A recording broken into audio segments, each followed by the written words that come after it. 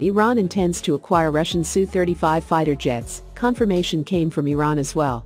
The source quoted by US Islamic Republic of Iran Air Force IRIAF Commander Brigadier General Hamid Vahedi spoke to Iran's Barna news agency.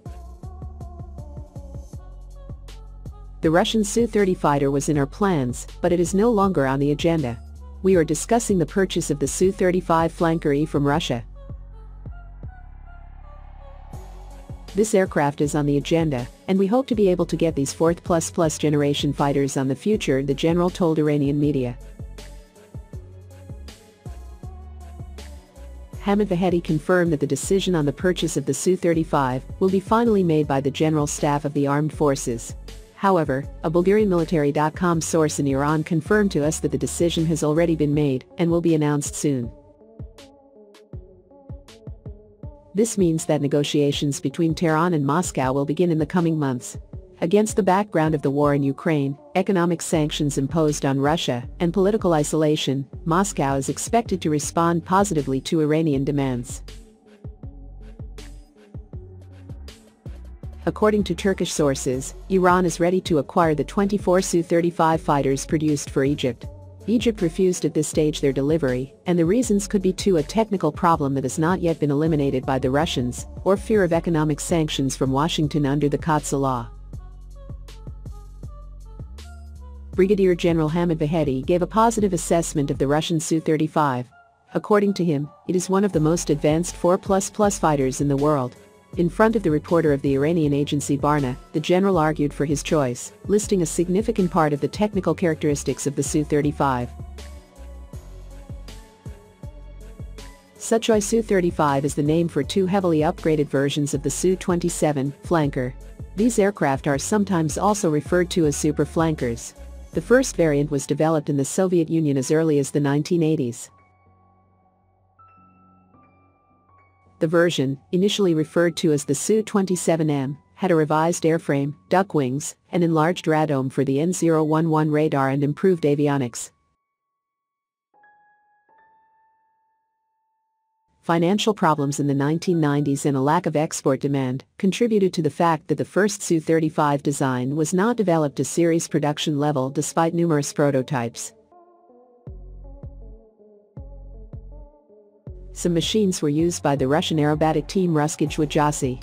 In 2003, Sukhoi began to modernize the Su-27 again extensively in order to create an interim solution until the Su-57 was introduced. The duck wings and the air brake of the first Su-35 draft were omitted, the airframe was reinforced, and the avionics and radar improved.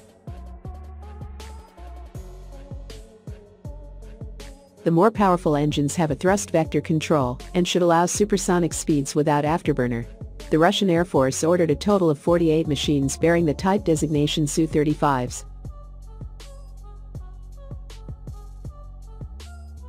Another 50 aircraft were ordered in January 2016.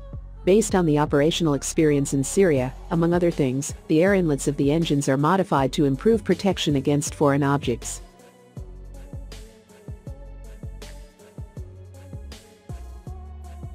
Avionics hardware and software are being adapted to better combat ground targets. After the first draft of the Su-35 failed to show any export success, the development of a new Su-35 began in 2003.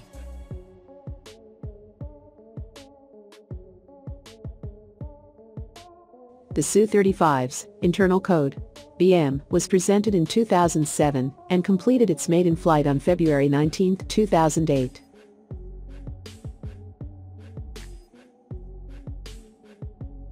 The machine is based on the Su-27SM, which is why the Russian Air Force initially used the designation Su-27SM-2.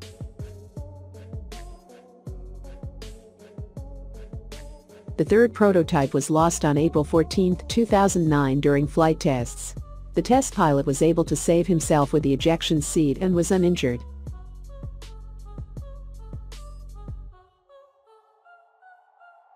Nonetheless, at the end of 2009, series production for the Russian Air Force began. They initially planned the acquisition of 24 to 36 machines, At MAKS 2009, at which the Su-35s was also demonstrated, the Russian Air Force finally ordered 48 machines that were to be delivered between 2012 and 2015.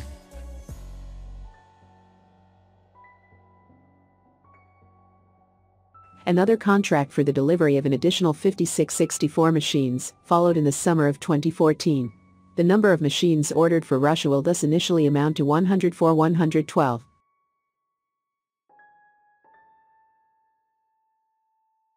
The first production aircraft took off on May 3, 2011, in Komsomolsk-on-Amur, with Sergej Bogdan at the wheel for its maiden flight.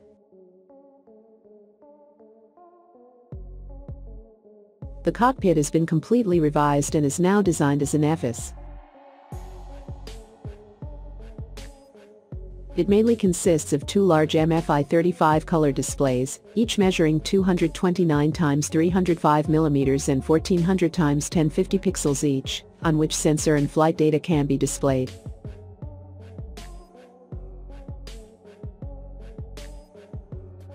There are input keys on the edges of the screens, and the HOTAS concept was also implemented.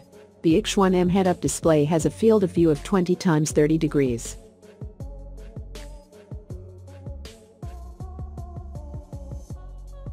The pilot sits on a Zvezda K36D 3.5e ejection seat with 0-0 capability.